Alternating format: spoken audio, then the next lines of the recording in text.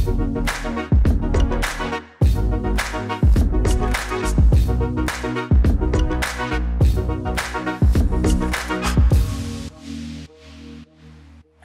it going, everyone? And welcome to the Bot Podcast, where we interview movers, shakers, and innovators and talk all things conversational user interfaces. I'm your host, Chad Oda.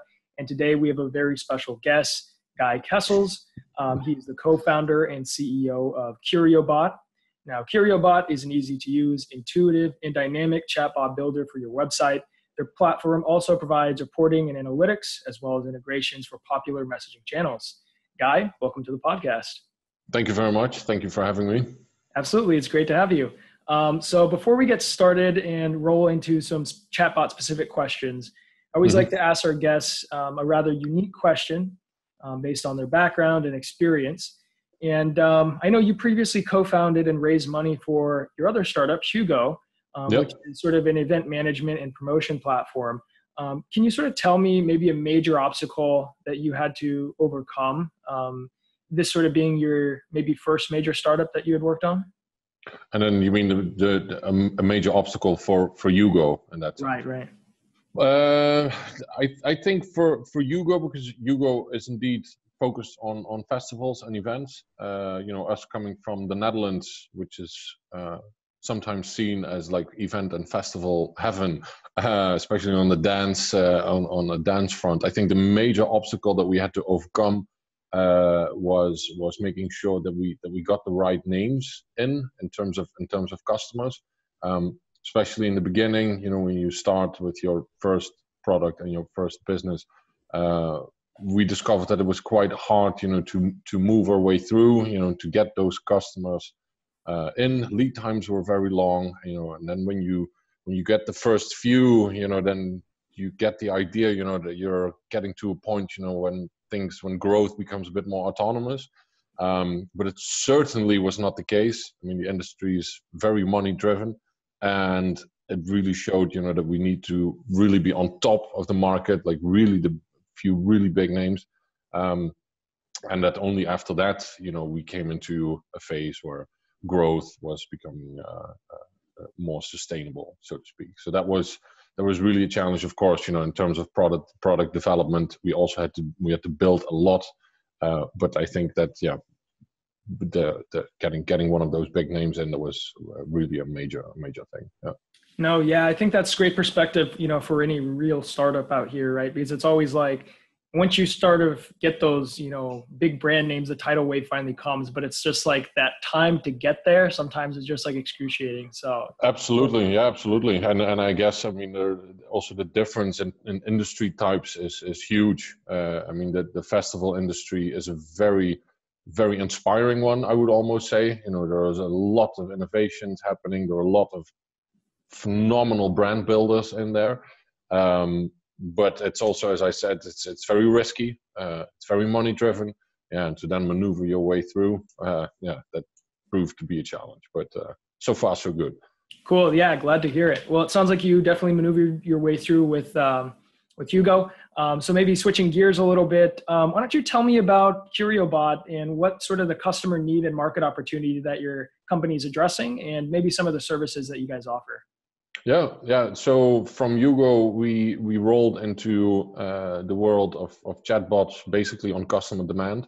Uh, so a company from outside the the, the, the actual festivals wanted to uh, gain more insights and learn more from from festival goers. Uh, so there was a, a, beer brand called Bavaria, and we wanted to make sure that we could service this company in a way that it uh, would lead to their results, but also that for consumers as such would be uh, a, a, good and fun fun experience. So so we came up with the first version at the time of Quriobot which compared to a lot of other uh, tools out there is a proactive chatbot. Uh, you know so it's not reactive waiting somewhere uh, but it addresses you uh, based on um, earlier displayed behavior. And that can be uh, data that is coming from let's say a crm tool uh, but that can also simply be just website behavior. And basically, those two things so, with a good looking interface, uh, an integration with uh, existing tools, uh, and a proactive attitude, so to speak, we, we went to market and we very quickly uh, pulled in all kinds of other customers, also big brands actually, so that went much faster than, than with Hugo. Um, and what the use case is actually differs a lot per client. So uh, for some, it's the, the retrieval of feedback, but we've also got bots running that are calculating uh, premiums for insurances uh, that are navigating people through certain portals. Uh, so we've seen that, uh, especially with complex products uh, or, or, difficult to understand, you know, conditions that belong to a product, so with a mortgage or a pension or an insurance, you know, that Quriobot there flourishes.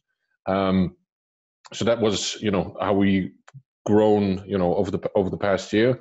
But what we saw is that that proactive attitude and that friendly uh, movement uh, was actually also very much appreciated by smaller and medium-sized enterprises. So what we did is to turn uh, to software as a service, and over the past few months, we've uh, extended the platform largely, um, tested it a lot, um, so that people can build these kind of Quriobots themselves. Um, again, with the proactive philosophy and also all kinds of ways to integrate it with uh, with other systems and to keep the entrance barrier low, so low uh, starting price, uh, etc. Cool. No, I, I, think that's really cool because I think you're right. A lot of these bots out here are sort of reactive bots, and it's just like you know we're sort of waiting for something to happen. Whereas your bot, you know, right when I go to some of your uh, demo websites and even your your primary website, you know, I'm the bot is sort of reaching out to me, asking me, you know several different questions that i may have provided the products or services you know so i think that's a really cool touch. You know i'm hoping to see a lot more chatbot platforms or chatbot you know um, builders begin driving in that direction yeah i mean of course you have to be careful that you that you as that your bot you know does not become intrusive you know especially on mobile devices or a small screen you know you you, you need to make sure that it behaves in a way that it fits uh, your your your website visitors, but we we approached it in kind of the same way as as in a store. You know, if if if you're walking somewhere, you have no idea what jeans to pick, and then isn't it much nicer if somebody walks up to you and then is of service instead of you walking to a counter? And that simple principle uh, we see happening a lot. I mean, just a, a, website as such is of course static and waiting for a user to do something, uh, which in our philosophy is one of the reasons why you know simple forms are not converting anymore so with a tool like Quriobot, you know, start first changing these forms, uh, make sure that you don't do it in, in too much of an intrusive way, get some learnings from how people interact, you know, from there on out, gradually move into uh, the, the real world, the big world of chatbot. Yeah, definitely. Um, yeah, I think it's really interesting, like how you guys sort of maybe had a more natural segue to bots you know with your initial use case and startup being hugo and then some of the big brands were asking you guys if i remember correctly you know they wanted to figure out how to track you know engagement with their brand you know following uh, i think some sponsorship at these events and that mm-hmm. was sort of the initial use case that you guys saw and i think you guys you know sort of immediately began seeing a lot of engagement um, which I think is really cool because I think you know real primary use cases right now in the chatbot space that seem to be you know successful or turning ROI are you know one sort of the advertising and sort of feedback use case, and then the other one is customer support. Um, mm-hmm. So, do can you sort of maybe go into that initial use case a bit more because I think it might be interesting uh, for the user base to sort of look at your use case because I think it's a bit more unique than a lot of the advertising bots on Facebook right now. Yeah, yeah, sure, yeah. So uh, the story was as follows. So in the south of the Netherlands, uh, there were a few festivals that we already worked together with with the Hugo product, and that were all uh, having a sponsorship agreement with uh, a beer brand called Bavaria. And anybody from the Netherlands or this part of Europe probably probably knows knows the brand and their clear focus, you know, on on on on, on the, the, the, the like the ecosystem demographically around them, sort of geographically around them, so to speak. Anyhow, um, they wanted to gain uh, some more insights in to what extent their brand activations and their sponsorships actually led to people buying beer in the weeks after that festival. And with that question, they came to us because we were already working with these festivals and already uh, working on their, their, their, profile enrichments, you know, data management, surveys, etc. but we couldn't serve Bavaria with the Hugo product. Uh, you know, first of all, it's for these festival organizers. You know, they are working with it, they are collecting their data. Um, so it's not for us to use. And next to that, you have to, in this case, to answer this question, you have to make sure that you touch base with people, you know, at multiple points in time, you know, possibly via different channels. You know, there are quite some questions that you need to get answered from them. So then we decided, all right, you know, if people go to festivals, then they talk about it afterwards with each other. They might share some feedback, sometimes relevant, sometimes not, but they also talk about all kinds of other things. So why not develop a, there we come again, proactive bot uh, that basically drops by these folks and tries to become part of those conversations, you know, when it concerns an after movie, uh, how much fun people had, the sharing of pictures, etc. And that basically addresses them like, hey, you know, how, how was it? Uh, and the next time, uh, did you have a beer uh, by now, by any chance? And if the answer is yes, you know, what beer was it then, etc. And then by doing that, you can take these bits and pieces of the information that, that those people then provide and turn it into a dashboard with the applicable KPIs for that, that, that beer brand. And that's how we basically from, you know, event management, email campaigning, surveys, and a specific festival tool moved into uh, chatbots because when we first talked to Bavaria, we had nothing more than than, than a, a, simple working prototype that just looked very cool.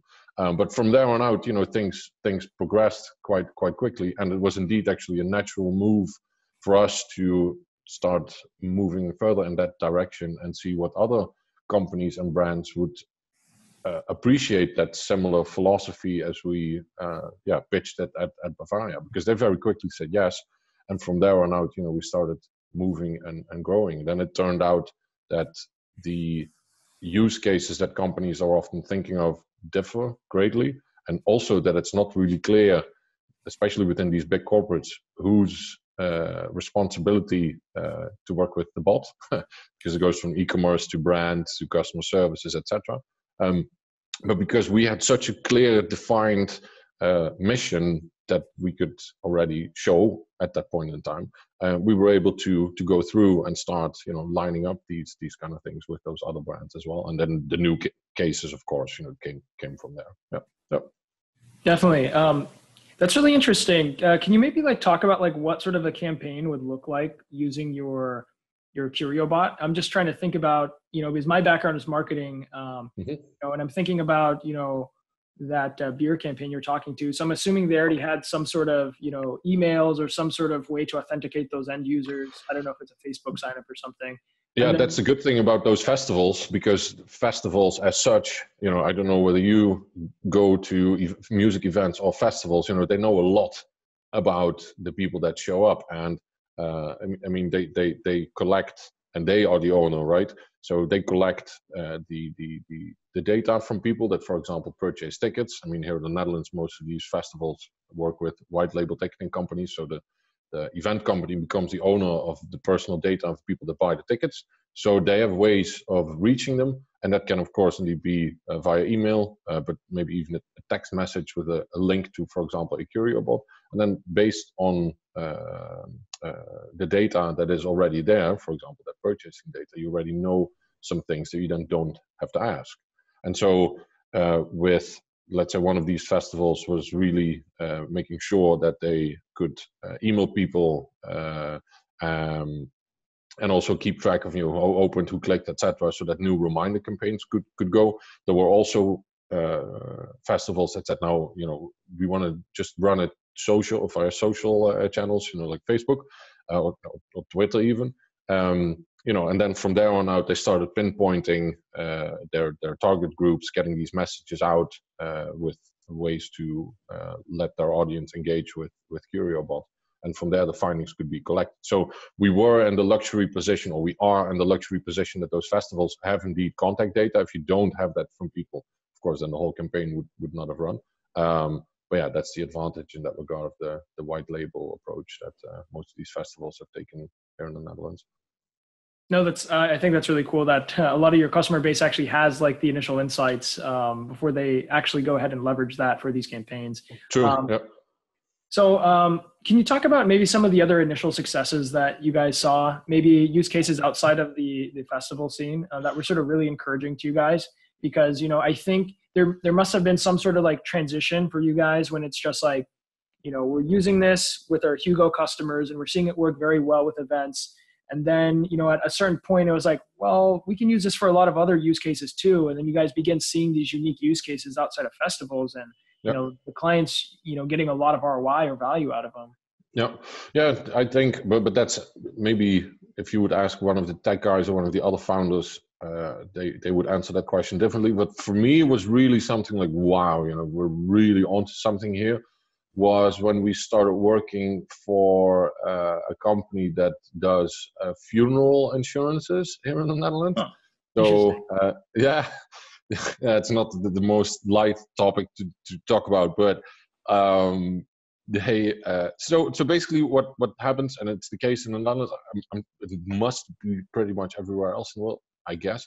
But uh, there is with insurance like premiums, there is a, a, correction for the inflation as it takes place, right? Mm. So uh, you know, I I want to be insured for in case I, I I pass away that I am covered or that my family is covered for funeral costs, which can be very high. So I'm paying X euro per month, and then once a year there is an indexing process that takes place in which your premium fee is corrected, you know, based on the inflation as it has taken place in the country. Now, I already realized that when I'm explaining this, you know, John Doe has no idea what that means, which I can imagine. I mean, also extremely well educated people that work in this field of work, you know, uh, uh, or, and this expertise often have difficulty understanding it. So um, this funeral insurance company saw that because you don't really have a lot of content to share as a funeral insurance, uh, that as soon as they would reach out to their um, customers, uh, that that would be a point in time in which people all of a sudden start realizing, like, hey, you know, what am I actually paying to these guys? And this my monthly fee goes up you know, can I cancel? You know, where do I cancel? I'm, I'm trying to, to, I will see what, what, what price I have to pay at the neighbors. While it's a normal thing, it happens with everybody. So what they needed was a tool, and they turned to us for that, that would help them uh, guide these people through these kind of processes that would help their customers understand why things happen as they happen. That it's not, you know, just a way of making money, but that is a, a, a principle that needs to be applied economically.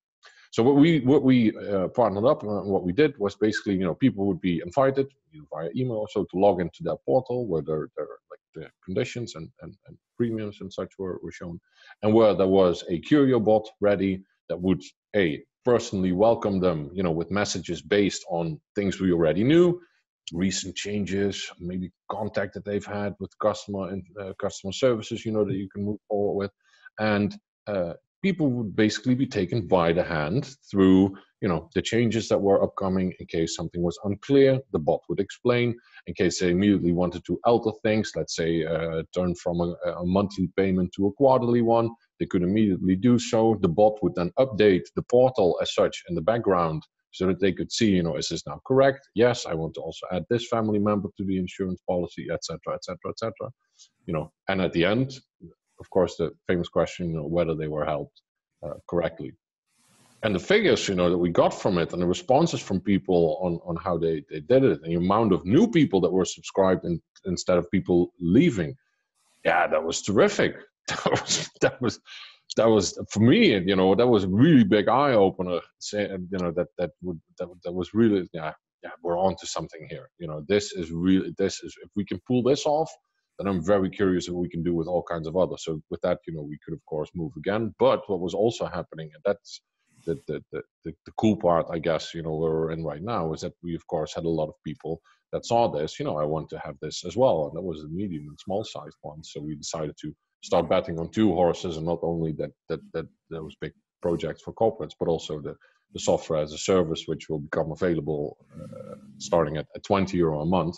Um, uh, and and try and do try and do both so yeah that's where we are right now and now hopefully with with the, the SaaS platform with the, the Quriobot control room we will have something that will provide us with equal uh, cool findings and, and new enthusiasm to to make it fly from there on out. Yeah. Yeah, no, that's that's an awesome use case. You know, because I think we're beginning to see a lot of insurance companies and you know banks adopt these type of chatbots. You know, and uh, I'm sure you've seen the uh, Lemonade chatbot, which sold over hundred thousand policies. You know, yeah. like there's a considerable amount of potential for chatbots in those spaces. Um, I'm curious. Yeah, definitely with those, definitely with those those those difficult products. I mean, if I mm-hmm. have to look myself, yeah, I also have all kinds of insurances running, but do I really know what I'm actually insured for? You know, in case something happens. I mean, the answer is no, and that I think goes for every human being. Uh, yeah, and that is yeah, there are tremendous chances uh, there. So yeah, excited for things to come. No, I absolutely agree with you. Um, yeah, I have no idea what's what's probably in my insurance as well. So you know, hopefully they get a insurance bot from from Quriobot soon. Yeah. So, um, I, I'm curious, just like from like a UX perspective, in that one, you know, funeral insurance chatbot, um, was it like really heavy on NLP, or was it more like button driven, or was it like a combination of both, or? Uh, no, no, it was not heavy on, on NLP at all. Actually, mm-hmm. uh, main main reason for that being that uh, um, if if for people the subject as such is already difficult to comprehend, then getting input from them about a particular subject will be even more trickier to to to deal with. So we made sure that, especially in the, in the first part of the conversation, uh, um, that you know people would basically just have to to click, you know, guide their way through, uh, see what what makes sense, what's logical, um, especially also uh, because um, when it, for example, con- concerned the, the, the the funeral insurance, it's not a portal that people are on on a daily basis, you know, and in, in the time between the last time of logging in and, and now, probably also a lot has changed. So the more stimuli would go into their face, the more confusing things would get about a product that is already difficult to comprehend. So in that regard, it was not NLP heavy heavy at all. And what we actually see now also with the SaaS platform um, is that people uh, stay stay away from it. they they just configure things that are easy to to go. Um, simple, you know, contact forms, feedback forms, uh, registration forms, uh, all of that stuff. Remove those first, see what happens there, and then um, uh, when when putting a Quriobot in there, and then from there on out go into you know the more the more sophisticated stuff. Let's let's. Yeah, you know that's that's actually fairly representative of you know several people that I've talked to and bot implementations we've worked on uh, internally here. You know, it seems to me like you know for conversion based activities where you're sort of driving them to some sort of end state NLP just is not robust enough right now. Um, I mean, you could certainly try and do it, but like to try and address, you know, the multitude of edge cases and different types of rhetoric people use uh, is is really a scalability issue. You know, so yeah. I do see a lot of people using button driven or restricting text, which seems to be very very successful because when we are seeing case studies. So I was actually talking to a friend of mine, um, Ari. Uh, he works at this uh, marketing agency in Chicago called BAMF. Um, or I want to say, wait, not in Chicago and California, but I digress. Um, so he just released this case study where they turned over $200,000 for a Kickstarter fund, and the chatbot's entirely button driven. You know, so I, I think it's really interesting to look at the underlying trends right now. I know a lot of people have hyped up NLP, but I think it's mm-hmm. maybe best suited for customer service type of interactions potentially. Um, yeah and also maybe uh, uh, or at least that's that's that's that's our uh, or my humble experience is that it's it's also not affordable just yet for a lot of lot of companies. So you also i mean for us as a as a business that's that's that's that's in there you know we we really need to look at okay you know there could be some very cool things possible for a specific client with you know either a specific use case or uh, with the budget available you know to make you know something really big um, but there is indeed a hype uh, going on. You know, we're also, you know, one of the few, you know, in in, in this war zone uh, concerning chatbots. So I think that also very quickly becomes a case of all right. So where are the opportunities here? And our philosophy is that on that topic there are tons of opportunities.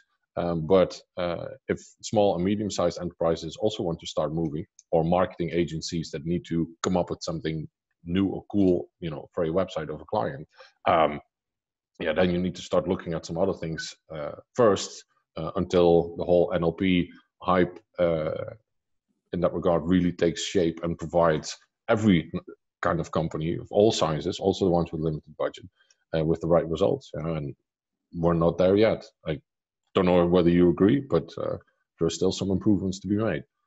Yeah, you know, I totally agree with your sentiment. I think definitely a lot of the NLP was overhyped. Um, I mean, I think you can do a cert- considerable amount of things with platforms right now, but I think uh, you know there's just a lack of conversational data sometimes to train these models. In addition to you know just a scalability issue, and even compounding that issue is the fact that you know, a lot of these roles and, and positions within companies for chatbots and voice just don't even exist yet. You know, it's like I, I can't go out and hire like a UX guy that specializes in chatbots and voice because you know it's really only been around for about a year and a half to two years. When you think about the incumbent platforms like Microsoft, LUIS, and Dialogflow that have been around um, for a very short time now. Um, so I completely, I completely agree with you, and I think you know being successful in this space right now is more about operating within the limitations of current platforms and sort of making sure you align them to use cases where those things will be sort of fruitful and i think right now that is difficult for a lot of people jumping into chatbots and even especially voice to a greater extent. Um, there's a there's a lot of unknowns. Um, so maybe using that as a segue you know just seeing how new chatbots are for everyone and we're all sort of trying to explore and identify great insights and best practices. Um, can you maybe talk to maybe a couple of or an initial obstacle that you guys face sort of building Quriobot out? Um, because i think we're all sort of new to the space and we're trying to discover you know how to best do things or develop things or build things mm. Well, on, on, on the tech side of things, you would really have to ask uh, Anatoly or Sitzin, and the other two other two co-founders. Um, one of the obstacles, because I I cannot develop anything, unfortunately. Yeah, um, I can't either. So I'm in the same boat. nice. Um, uh, no, one of the, the, the, major obstacles I think for, for, for Quriobot when we when we got into the space was was defining uh, the, the, the market fit. You know, on some way we needed to uh, not really shake off the things that we did for for festivals. We needed to find a, a way in which we could utilize it, the knowledge and and, and ex, uh, experience that we got from there, and turn that into something that uh, uh, with a, a, a, chatbot product would would fit the need of of companies. Um, because I, I think that so that so that's one thing, and the second is is finding who's actually responsible for the whole lot. Because there are tons of tools that are currently already being embraced by companies and that in eyes of some people is a chat functionality chat bot but actually it's just live chat you know it requires an agent so it's something completely different. And uh, we needed to uh, show that we are doing something completely different um, but very often also leads to better results um, but which we could only bring forward if the story would be right you know and if would actually fit uh, the, the, the need that they were looking for. And that that was that was tricky, especially because of the of the ongoing hype, and it will probably remain tricky throughout the upcoming years, I guess. Yeah, absolutely. I think you know attaining product market fit for a new startup is always sort of tricky, and you know that's even more compounded in you know startups where there's emerging technology. So you know I, I definitely agree and understand with that sentiment. Um, by the way, if you're hearing any beeping noise, I gotta apologize because they're they're doing some sort of construction outside my apartment right now. So um, no worries. Hopefully, it's not too bad, right?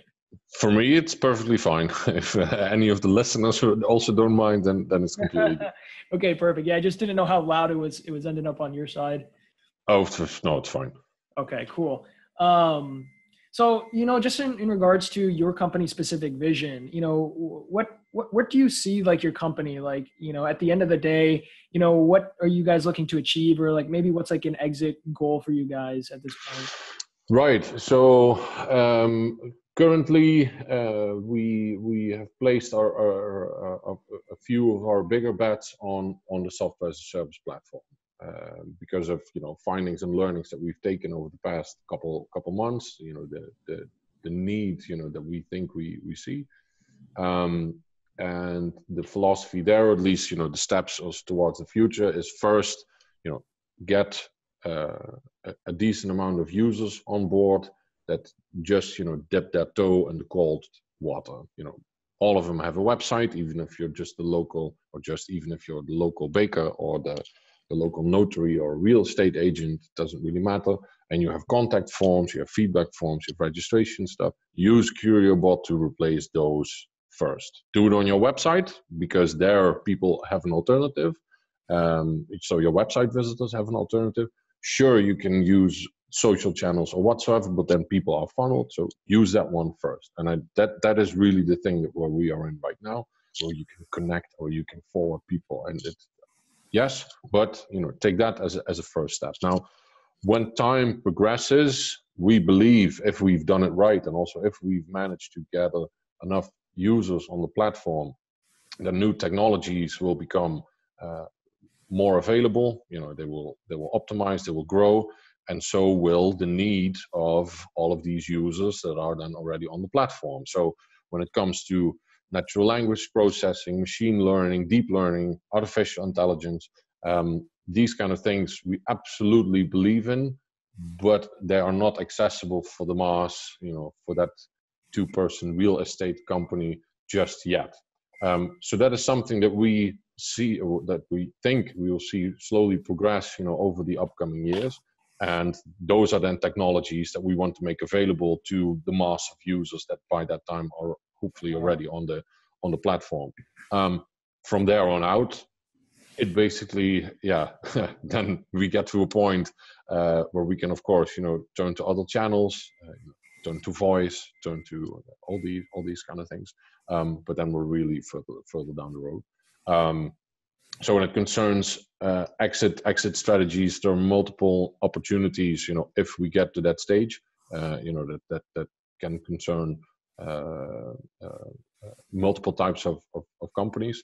So to be very honest, um, is there a, an exit strategy between now and five years completely set in stone already with dots on the horizon? Uh, no, we're actually too excited for you know, the first first uh, upcoming year to uh, to tackle and see how things grow from there. Because we do think that it's you know if you if we would succeed, we will. No, but uh, when we succeed to to get a lot of uh, users on the platform, then it of course also still remains to be seen. You know where the the technology as such in which direction it, it will develop. I mean in the United States, you know, people have multiple Alexas, uh, uh, Echoes, etc you know here in europe things are just getting started. Like here in the netherlands you know the dutch language i'm not sure whether it's it's properly supported already. It's there. And you have a few chatbot guys that are already specifically focusing on it it's all you know in the starting point you know we're a few years behind um, yeah and that's well we will have to see how those things uh, progress yeah. yeah no absolutely to your point you know that's actually really interesting because i heard google was finally officially announcing they're going to be supporting Dutch. I, I think it was this yeah. week. And the other interesting thing too is, you know, I know that you say you guys are, you know, a little behind the curve, but something I've been noticing, and I've actually mentioned this to a couple people from the Netherlands as well that are also working on chatbots and voice, is that I, I swear there's a ton of people in the Netherlands and in, and uh, that, that are either owning agency companies or building products. I don't know if this is a trend that you're seeing. Um, it just seems to me there's a ton of people in the Netherlands right now working on these type of uh, products. Uh, and then uh, specifically in, in the world of chatbots and such. Uh, yeah, you, yeah, yeah. Um, I, I, I, guess when you grow up in it, you know, then it then it doesn't really show. Uh, yeah, yeah, yeah. But um, yeah, yeah, maybe you're right. Um, I mean, I've heard maybe on the contrary that there are quite some. Maybe that's where it's coming from. That um, uh, the Netherlands is very often used by, by bigger corporates as sort of like the testing ground, you know, mm-hmm. like kind of the playground. You know, it's a small market, uh, relatively specific language. You know, um, if, if if if they appreciate it, you know, then then other non-English speaking countries also do. Maybe that's where it slightly is coming from, and that therefore, you know, some of the developments in the in the in the chatbot direction are taking place. But if you would ask me for a for a reason why or anything along I, I would honestly i wouldn't know i honestly wouldn't know yeah yeah yeah no yeah that that's just something interesting i i begin to notice um but switching gears a little bit, um, you know, since you've been in the chatbot space for a little bit at this point, and I'm sure you've tried out a tremendous number of different bots, um, or even voice bots for that matter. Um, have you used like any bot recently um, that you thought was actually a really, really great experience, or are you still sort of in the ballpark of, you know, uh, chatbots have a ways to go yet before I'm sort of satisfied or my expectations are met? Yeah, it's it's the latter. It's the latter, especially yeah. because it, it's it's very often obvious, you know, when there's a human takeover, and that is sort of the the moment for me, at least, where I where I feel like it's game over. Um, but I'm also I'm, I'm also in that regard, you know, of course, uh, a bit bit bit ruined already. Like you look at it with a with a, with a different kind kind of view. Yeah. Um, there are of course uh, there have been a few ones in which it's in which the reply is like yeah well this is actually quite quite cool but then then it's it's it's it's either a very specific use case um you know the ones that that that try and be everything. Yeah those i haven't i've haven't been really really excited about. But i also have to i also have to admit that the amount of other bots that i've been looking at is relatively small.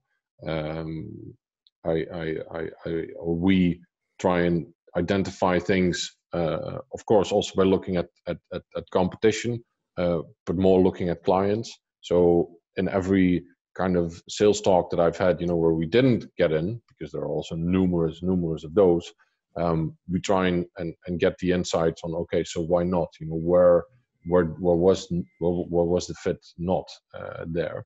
Um, and that is basically what we use as findings to to progress with with the business and and with with the product as such. Yeah no that's that's actually very interesting. Um, a couple points from that. Um, you know i think one you know i think maybe you and i probably aren't the demographics for a lot of these bots or the specific persona right? So maybe that's why our expectations are a little out of whack but it's also probably because um, you know we were promised on like this uh, on this sort of idealistic vision of a chatbot and voice that maybe we're a little bit disillusioned um, from from seeing what actually exists these days. And uh, you know, finally, you know, to your point about hearing why companies you know didn't you know um, work with you guys for whatever reason, you know, I'm curious, you know, from like a you know uh, company stakeholder perspective, uh, perspective, you know, what were like some of the reasons, or what do you see like these enterprise companies actually looking for when they're looking for like a chatbot partner or a voice partner because i think it, it's relatively new for them as well. Yeah well that's that's that's very often um, so so so compliance is often one.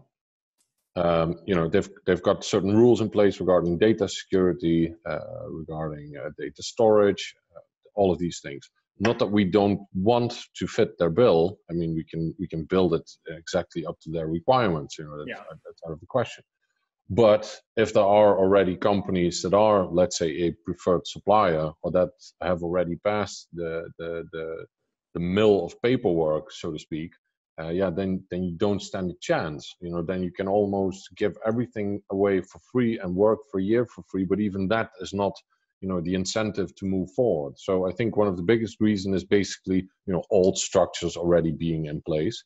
Um, we actually have had some corporates that basically said, yeah, okay, so we we we already have the, the preferred supply agreements in place, but we really want to work with you guys. So we're just going to pretend like you are invoicing uh, our preferred supplier. They will then pay you, and we will invoice that preferred supplier. And then via that, you know, we make the circle round again, so we can still uh, get things going with you guys. That that has already happened in our short short lifetime. So that's that's, I think, the biggest reason. The second one um, is that they have already uh, systems in place, let's say a live chat a tool that has been developed for them custom uh, that they want to uh, keep using and for which you know we then of course need to dedicate resources to make sure that we've got Quriobot uh, uh, connected uh, with an API to to that live chat environment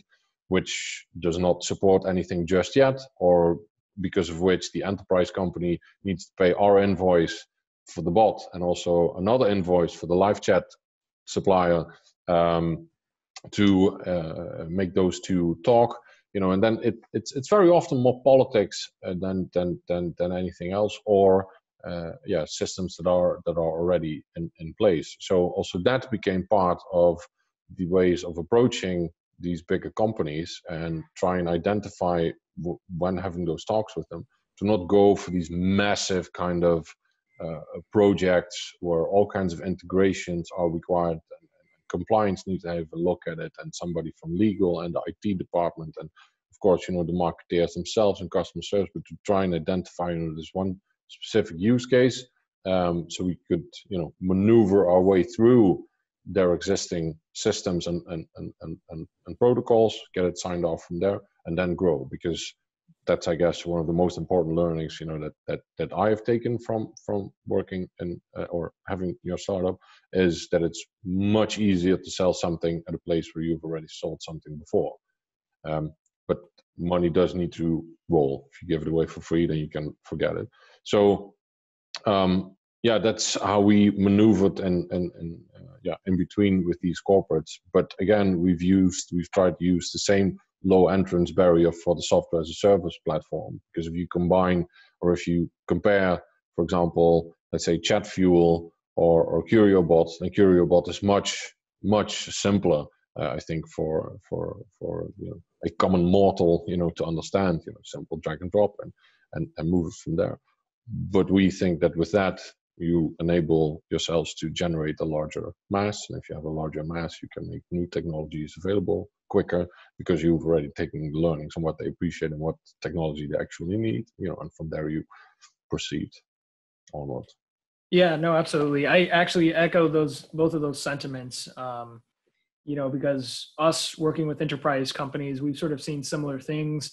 You know, from a compliance standpoint, um, you know, out here in the United States with HIPAA, for healthcare medical records. And, you know, when you look at sort of the pre-existing platforms that exist, not a lot of them are HIPAA compliant. You know, that's so that sort of seems to be an obstacle that, you know, a lot of these solutions need to get around and, and really address, you know, um, so I definitely see that as a, a big obstacle. And, you know, secondly, to your point, I do agree there there is quite a lot of politics in this space, right? Whether it's from pre-existing vendors that have live chat and you know the client is coming to you and, and saying hey can you integrate with these guys? And then you get on the phone with them and they have their own platform and now they don't want to release api documentation. And then now you got to find an expert and now it's just like okay are we sort of like spinning cycles here and is it worth it? Right? So you know and not only that but you know it's it's also internal too. It's um i think you actually pointed this out. It's like which company stakeholders own what and do they actually have enough context to be effective in making these internal decisions um, in a way that's going to yield some sort of you know um, metrics that show success? And you know i think that a lot of times is a little hazy too. You know it's like they see this new technology they know that it can be very beneficial but a lot of times i'm not exactly sure they're clear on what metrics they're looking to get out of these things. So a lot of politics but you know it sounds like you're certainly learning a lot. We've certainly learned a lot in the same regard. So you know it, it's sort of good to hear some validation you know in regards to sales prospecting in regards to chatbots and enterprise customers. So i, always find that fascinating. Yeah well you're you're you're absolutely right. I mean it's it's uh, uh it's not uncommon to have at least uh, uh, seven, eight, nine people at the table who uh, who want to have a saying in, in let's say a chatbot project. Um, not that there's something wrong with that, because we, once we're in, can take learnings from all these kind of stakeholders with everybody's completely different different expertise. But that makes the lead times indeed much longer. And for the ones that are actually pulling the card that they have to make the decision, let, let's say the level above those those eight eight nine people you know for them it almost becomes frustrating because there are all kinds of different metrics in place that everybody uh, is actually looking for. So again that's why we at least try and take an approach and take one use case please where it's clearly definable what metrics who the stakeholders are you know who can we shift gears with um, who defines and how do we define uh, when it can be considered a success and how do you also make sure that there are cutoff uh, points because I think also over the past couple of years, especially those big enterprises slash corporates, have seen uh, projects and that were going to go wrong or cost way much than it actually delivers. Yeah, and now there's a new development uh, from startups that have a short or relatively short track record of one and a half years, which is nothing. So yeah, why shouldn't we actually stick to these guys of who we know that they deliver? And yeah, maybe it's uh, not as cool or not as fancy, but you know, it's a safe bet. So for now, you know, it, it's not broken, so let's not fi- so let's not fix it. That that kind of attitude. Um, but on the other hand, that's also what makes it exciting. I think. Right. Exactly. I, I think it's uh, challenges and also at the same tar- time our our uh, own opportunities as well that uh, are at stake. So you're right. True. It's always uh, it's always uh, sort of entertaining and fascinating and scary and encouraging all at the same time. No, um, and I'm also very curious to what extent, you know, companies, us, but also people who are doing the same thing somewhere else or, or slightly different, will be able to cross borders with it, and to what extent, you know, the language barriers will now really take take take take place. I mean, uh, we as a small Dutch company are in general, you know, excited if we could do something, you know, in in, in the United States as such, because the market possibilities, you know, and because of all the all the the, the, the cool startup stories you know that that that that come across the pond into into Europe. But I'm very curious whether you know there will actually be possibilities for it if you don't have a software as a service uh, platform and how that will develop. You know, the guys like us who who, who have a product focus versus the guys who are more on like project uh, focus, so to speak. I'm very curious how that's going to develop in the land of politics and language and evolving technologies and uh, uh, it's definitely an exciting time to be alive. No, yeah, absolutely. You know, and I think we're, we're probably, uh, you know, maybe addressing your point right now. You know, um, I've been reaching out to people in the Netherlands. You know, I'm sure you've been reaching out to a lot of people in the U.S. and elsewhere around the world. You know, I've talked to people from Belgium, Singapore, Australia, UK. Like, you know, um, there's a country out there. You know, they're working on chatbots somewhere. You know, so I, I think it's it's actually really interesting. And you're right. You know, to see where this all culminates. Right, to see what sort of cross country collaborations, um, especially since you know now we're seeing NLP for a number of uh, additionally supported languages, um, including Dutch now. So I absolutely look forward to seeing how things sort of uh, evolve here. Yeah, so, definitely. Uh, speaking of, um, you know, maybe going back to my last point of, of also talking about some of the challenges, um, in your opinion, you know, sort of at a high level with chatbots, what are some of like the obstacles um, that currently exist, whether in the market or from a UX side or from a technology side, that you feel need to really be addressed in order for us to get to this like next level of chatbot experience? Whoa. I think it's a combination. I think it's a combination of things. To, uh, of course, technological uh, uh, progression is is one of them. Support for different kinds of languages, of course, you know, obvious. Um, the the the restructuring of uh, how chatbots are being dealt with, you know, within within companies, um, and I think also, but that is something, you know, it's a bit how do you call it, like preaching for your own church. Like it's, uh, I I think still quite some entrance barriers need to be need to be lowered before things really take off. Um, over the past months, years, you know, we've had our numerous conversations with with the small and medium sized business owners and also with just like you mentioned it already marketing agencies and i think they need to embrace uh, uh, chatbots uh, not a chatbot builder that does something really cool with a big brand like mcdonald's or, or, or starbucks because you know that's what the, that's the, the front line of the innovation so to speak.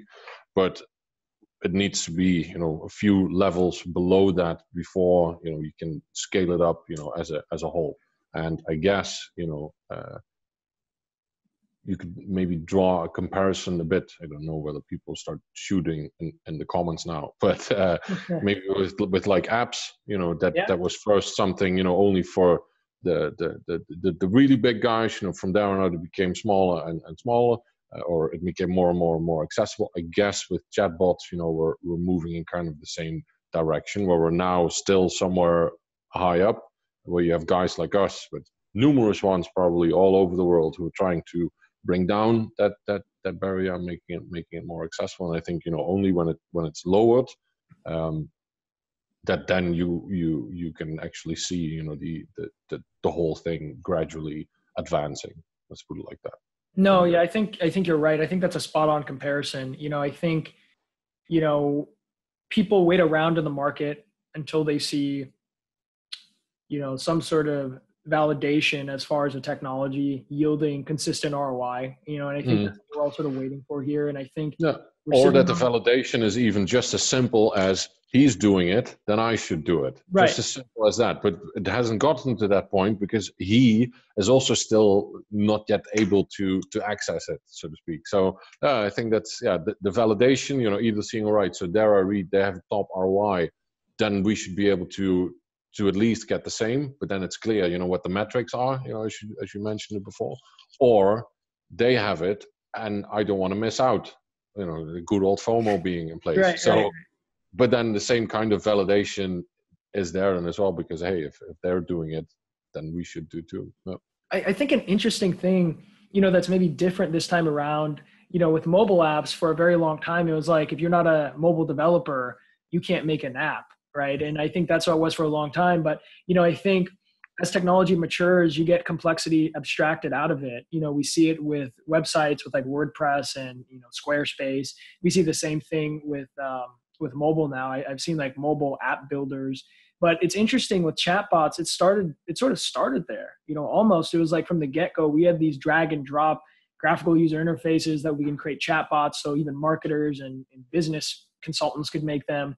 Um, so I, I think it's almost like, in some respects, you know, in comparison to mobile, um, chatbots were more advanced but at the same time i think they also track sort of the market adoption of mobile as well in the sense that when mobile started everyone needed an app right for whatever reason didn't matter about the roi it's just like we needed an app right so it sort of speaks to your you know fear of missing out. Um, mm-hmm. sort of mindset right and I, I think that's what we're sort of seeing now with chatbots but then we sort of wait and see where the roi use cases come you know as mobile apps did they became more mature and then you see really effective and really successful startups like Uber. And I think that's the same trajectory we will hopefully see with chatbots. But I think there's an even greater obstacle with chatbots, and that is just the fact that user experience from a conversational aspect is is fairly untouched. Um, and I think a lot of work needs to go into that um, that that sort of area uh, of expertise um, mm.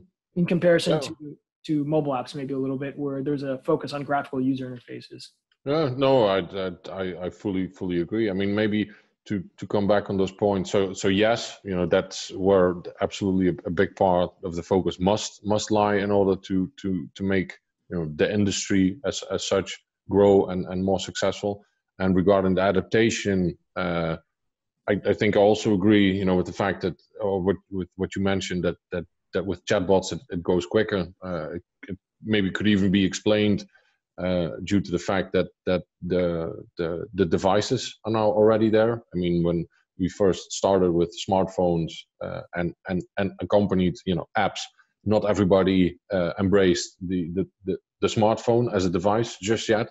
Uh, while now, you know, they kind of go hand in hand. The voice controlled speakers, etc. You know that that that goes, and I guess that in in in, in the online world or in on the online side of things, uh, it it kind of progresses also on on the same speed with indeed the drag and drops, and it's already there. You know, you don't need to be able to code to to build to build something. Uh, so maybe that is actually a heritage of of apps that are now that's now being put to good use. Yeah. Yeah. No. Absolutely. Um, I guess I guess on this sort of same train of thought, you know, in regards to sort of trying to project what the future may be by looking at the past. Um, you know, Guy, what is your vision of the future of chatbots? You know, in the next like five to ten years, or or really whenever. You know, what does that sort of look like to you? Um, I think everything will eventually turn to voice straight away. I mean, it's it's simply more efficient and it's easier. So if I don't need to type, then I don't want to type.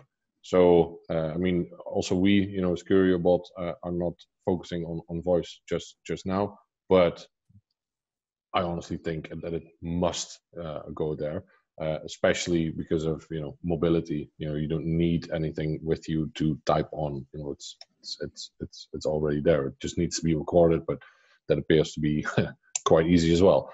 So um, that is one thing. Uh, second is that I also do think that they will that there will remain discrepancies when it comes to comes to language. Uh, you know, English will go first. You know, just based on market market size. And I'm yeah on, on on that one. I'm very curious. You know how that is going to develop because you can hear on my accent. You know, I'm not from the United States. Uh, if I try and control uh, echo uh, here in English, uh, then it very often still goes wrong. and I'm very curious how that's going to uh, develop. So maybe uh, actually the ones that are able to to to work with those kind of uh, current issues, also people with speech. Uh, how do you call it? Like disabilities and yeah, yeah. Maybe maybe they can actually be the big winners. But I, I do think you know that will, that will go to voice eventually. Yeah. Yeah, no, um, I, I, totally agree with your sentiment. You know, I think voice is sort of the next hurdle we all have to get to. Um, my apologies again. It sounds like they're actually like cutting into the steel with a saw outside my. Oh, I, so. I, honestly didn't hear anything. Okay, cool. I, I, guess this this microphone is paying off for me then. Um, yeah, it cool. is uh, definitely. Yeah, yeah, I was a little worried about it because there's so much ambient noise, but um, yeah, no, I agree. I think um, voice is very very interesting and compelling and i think a lot of the similar obstacles associated with chatbots um, you know also translate with voice. You know but with voice it's also like you know how do we find new skills? And you know how do we you know identify revenue opportunities? And you know so i think there'll be a lot of crossover. So a lot of the skills and insights we learned from chatbot development and platform development um, i think will really aid um, as we transition to voice in the near future. So absolutely agree with your sentiment. Um, so maybe turning the turning the wheel back a little bit um, to current day here. Um, do you have any like best practices that you guys have seen work very well with your clients, or any insights that um, you like to share? Um, start. Uh, so yeah, maybe a few few things that immediately pop to mind is start with a very specific use case. Um, you know, start with with automating a, in your eyes, maybe simple process, but do that first to take your first learnings. And then I'm really thinking, and then I'm really uh, uh, meaning, you know, the, the, the recreation of a feedback form into a chatbot, uh, the recreation of your current FAQ page into a chatbot. You know, these kind of relatively simple things. Start off with that first, and in, in, in my opinion, do it on a channel where people still have alternatives. Uh, on Facebook Messenger, you know, it's funneled. Start it on your website, and people can get the bot out of the way. You know, then there is still uh, uh, room for them to find what what what they are looking for. Um, multilingual, uh, if possible, um, do it because people simply do feel appreciated. You know, if uh, a bot uh, addresses them in, in, in, their language. Um, and also best practice, but that's I guess kind of an obvious one. Uh, don't do it, you know, just for the sake of it, uh, because then there will be nothing to to to gain. You know, if you start working with it uh, with us or with anybody else, um, do it in a way and uh, that that that shows you or that will provide you with learnings on how to actually improve a few things because having a conversation somewhere online um, and somebody is being helped or gives you five stars or so then at least you should have tracked you know why that actually was. And if somebody gives you permission to store it uh, that it's actually being attached to somebody's uh, uh profile. So you can use it to their benefit uh, in, in a later stage. Yeah no i think all great insights and tips. Um, you know I, I think really whatever sort of insights or, or best practices the community can learn you know i think we'll begin to see a lot you know more evolved bots in the next couple of years here so appreciate those insights and tips um, so speaking of that um, do you recommend to follow any people online or any books or any resources for people that are just getting into bot building or looking to sort of expand their knowledge? Yes, but I did forget the name of the of the of the writer. Uh, hang on, uh, the book title, uh, at least it's it's called Ask, and uh, I'm quickly cheating a little bit by um, uh, opening Google just very quickly, but at oh, least totally fine. Take your time. Give give the right one. Yeah, found it right here. It's from Ryan Levesque, if I pronounce his last name correctly. Uh, and and the book is yeah Ryan Le, Levesque, and the, the the the title of the book is is asked um, the counterintuitive intuitive online formula to discover exactly what your customers want to buy, create a mass of raving fans, and take any business to the next level. That is definitely something that I would uh, I would recommend everybody to uh, to read. Cool. No, absolutely. I'll have to I'll have to check that out. Um, yeah. I'll forward you the link after the. After cool. The yeah, yeah, yeah. No, much much appreciated. I'll make sure to put it in the description of uh, of this podcast when I push. It. Oh, it nice. Yeah, thanks. Cool. Cool. Well, um, before I let you go, um, I always ask all my viewers the same question. You know, because I think whether you're starting a startup or whether you're getting into you know a new technology where there's a lot of unknowns, um, tell me what keeps you motivated and inspired, sort of on a day to day basis what keeps you motivated and inspired on a day-to-day basis um, for me and i think that also goes for the other guys it's like these these really small discoveries that you didn't see happening at all. So a few days ago uh, we all of a sudden saw a, a, a, a user putting a, a Quriobot live on a governmental website in saudi arabia. You know what are the chances? Where is that coming from? You know that there were characters you know of, of saudi arabian language in, in that bot you know that we've never seen before terrific you know that can really put a smile on my face like that so so how awesome is that you know that that that me and and and the other guys are working on something that somebody on the other side of the world thought hey that's awesome let's give let's give it a shot what these guys from the netherlands have built yeah that's inexplainable. That's yeah. I think that's the coolest thing there is. Cool. No, I love it. Uh, Guy, appreciate your time so much being on the podcast, and we'll definitely have to have you come back uh, when you guys have some more announcements and uh, to see how your platform is going. So I definitely appreciate you being on the podcast today. Sounds sounds good. In the future, let's do it again. Absolutely, Guy. Thanks for being on. Very welcome.